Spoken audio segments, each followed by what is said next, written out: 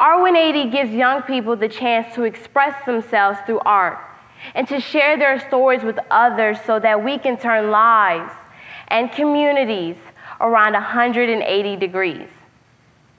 Before I jump into my talk, I would like to share with you a poem that I wrote entitled Back to Black. There's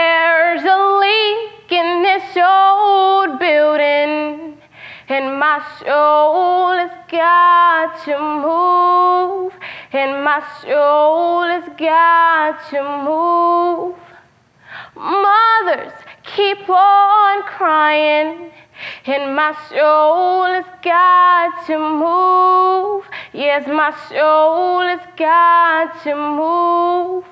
My brothers keep on dying, and my soul yearns for their survival. We, the black people of the United States, who grew up from the dust on a continent where animals roamed free and skin was darker and hair was coarser and the sun shined brighter. Where we dance to the rhythm of the pound of the drum and the hymns and the hums my people made with their tongues. Mm-hmm.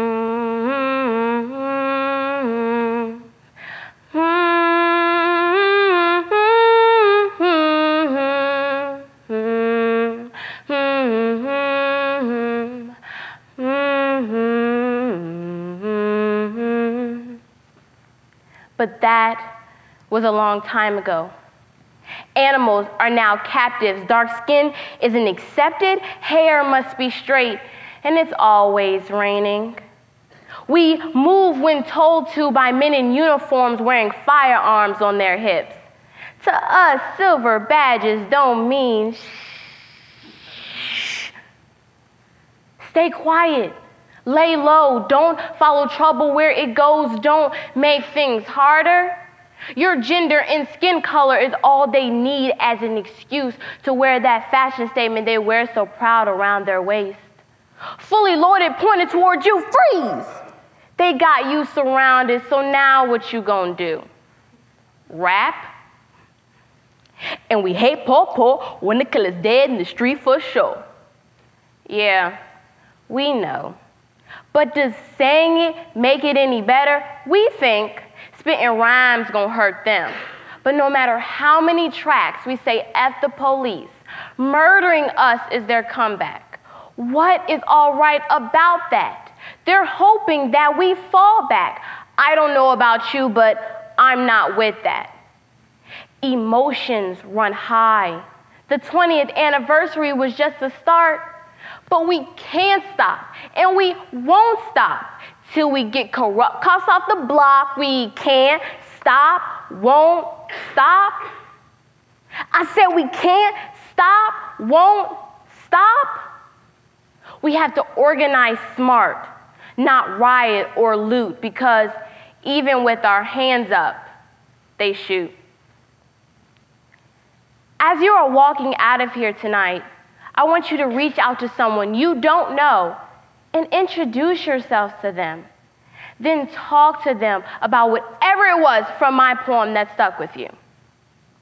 Sounds pretty awkward, right? Here I am, some 15 year old, asking you to break out of your comfort zone and start a dialogue with some stranger. No emojis. You can't just click a like button. No time to find a well placed meme of Kermit sipping his tea. In real time, you will actively have a face to face conversation with someone you didn't know about my poem addressing real issues not just affecting African American youth, but our entire country. Technology and social media have given us the opportunity to become connected in ways we have not experienced before. But instead of reflecting the world as it is, we have created a world as we would like it to be. Carefully curated portraits of ourselves with using just the right angle and filter. It is important that we create opportunities for strangers to interact about social issues in real spaces. Art can be just a catalyst to make that happen. For example, during the summer of this year, 16 unacquainted teens grouped, collaborated, wrote, and performed an original play. Black Lives Matter. We were able to share our opinions on the national movement and offer a glimpse into our own experiences. The play consisted of many short scenes that addressed racial inequality, cultural appropriation, police brutality, juvenile incarceration, teen suicide, and institutional racism. We were able to give our audience something to respond to, something tangible they couldn't ignore or shy away from a bunch of kids who didn't know each other two months before challenge an audience of mostly adults to have a real conversation about an inconvenient truth. We let them be their honest selves and encourage them to speak their truth. Okay, this wasn't some small, polite talk you have with your uncle over Thanksgiving. As young people, we have the power to affect change. Look at this event, we are doing it now. In a world where we are becoming rapidly more connected digitally through carefully manicured profiles and bitter statements made anonymously in comment sections, it is important that we create opportunities like this where we can share physical space and ideas. We must join together to be as one.